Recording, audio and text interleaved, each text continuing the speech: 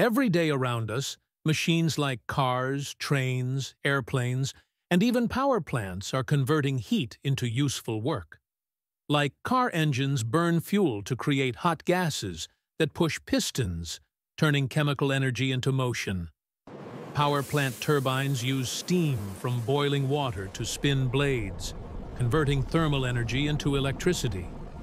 Both are heat engines, taking in heat and producing useful work. But you know what? No matter how perfectly they are built, they can never convert all the heat energy into work. Some of it always escapes as waste energy. And this simple fact is what makes the study of the Carnot cycle so fascinating, because it reveals the ultimate rule that limits every engine in the universe. The Carnot cycle is a beautiful thought experiment designed by a scientist named Sadi Carnot to tell us what is the maximum efficiency any engine can ever have. Before we dive into the Carnot cycle, it's important to understand the difference between reversible and irreversible processes. A reversible process is like an ideal, perfectly smooth operation. It happens so slowly and carefully that at every step, the system and surroundings stay in complete balance, with no friction, no heat loss, and no wasted effort. In real life, though, almost everything we see is irreversible. Cars have friction, gases rush quickly, heat leaks, and once it happens, you can't simply reverse it, which means you cannot bring the system and surroundings back exactly to their original state. What is gone is gone. The Carnot cycle is built on the idea of all processes being perfectly reversible, which is why it represents the absolute best-case scenario for any heat engine. Picture this. We have a cylinder with a piston that can move up and down. Inside it, there is a gas which we will treat as our working fluid. This gas is assumed to be an ideal diatomic gas, which is a fancier way of saying that the gas follows two important relations, PV equals nRT, and PV raised to gamma is constant, where gamma equals 1.4 for this case. Here P is the pressure of the gas, V is the volume of the gas, and T is the temperature of the gas. Consider both N and R as constant for now. Next, this part of the cylinder is in contact with a heat reservoir or an energy source like fire, giving heat to the gas.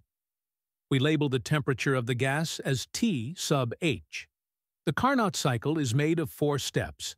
Let's go one by one. The first step is called an isothermal expansion. Isothermal means the temperature of the gas is constant, and expansion means the gas is simply expanding. In this step, heat flows into the gas from the hot reservoir. Since the temperature is kept constant at TH, and since the process is reversible, the internal energy of the gas does not increase, which means that the gas does not keep any of the heat with it. Instead, all the heat it receives is directly used to push the piston outward. So the gas expands smoothly while performing work on the piston.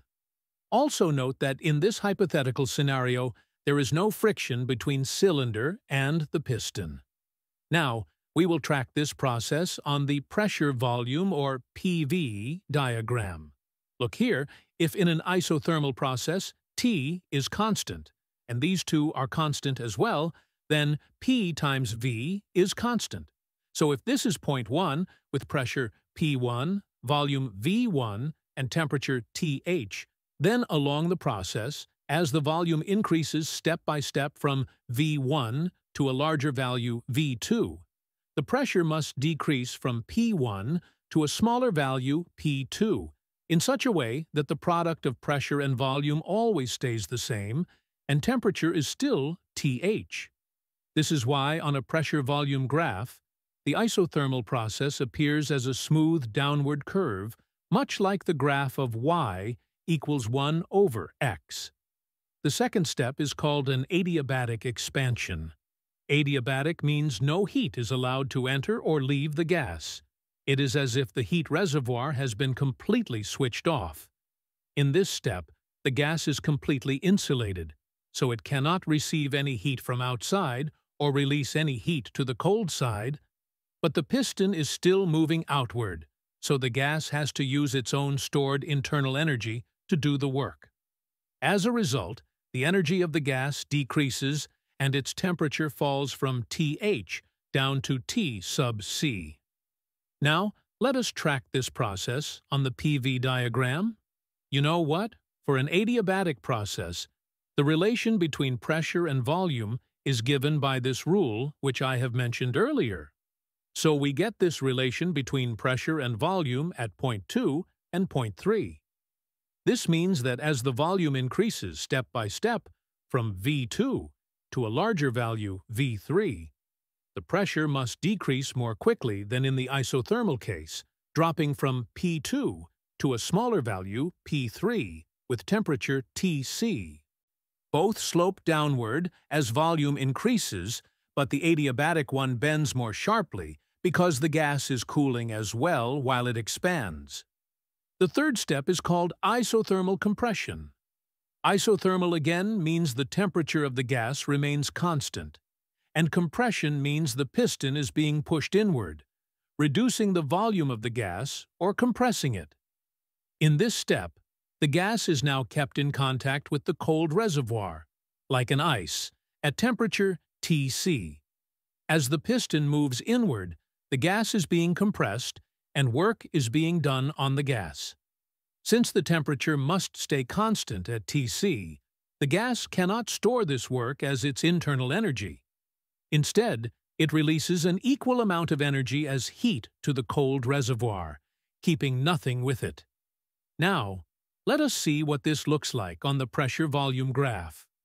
For isothermal processes, the rule is that P times V is constant.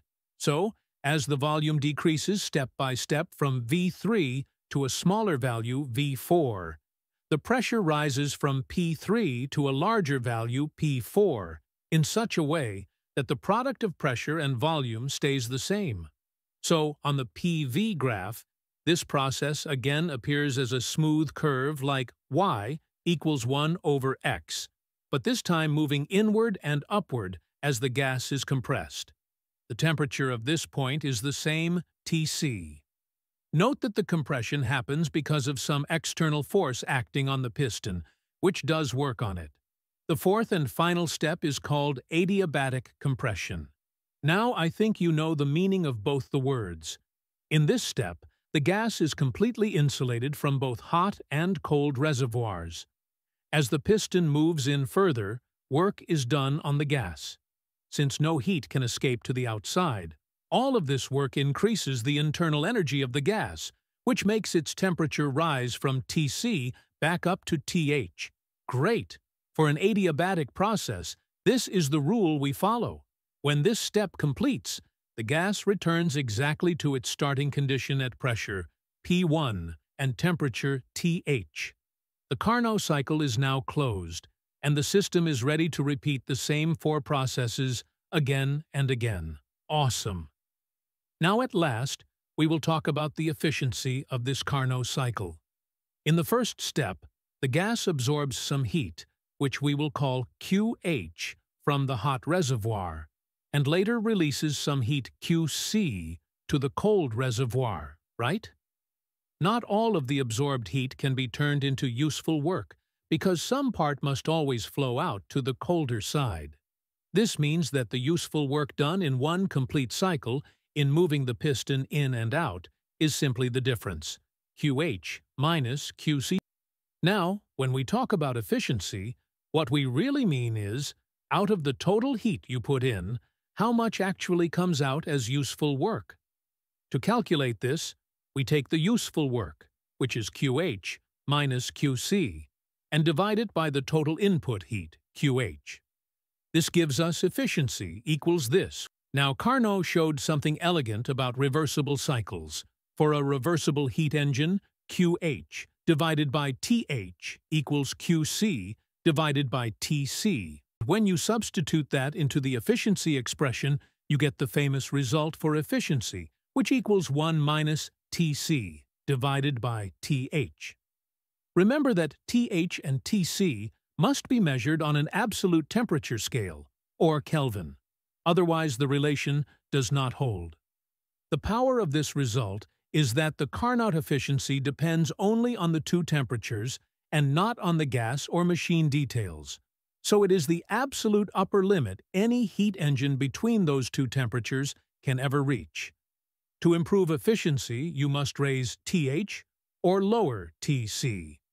But practical limits, like material strength, friction, heat leaks, and other irreversibilities always keep real engines below the Carnot bound.